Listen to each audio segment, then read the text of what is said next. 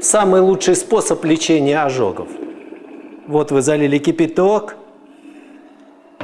и обожглись. А, нужно дотронуться еще раз, и ожога никогда не будет. В первый момент ты обжег тело и потерял часть тела и клеток. Вторым дотрагиванием ты их вернул.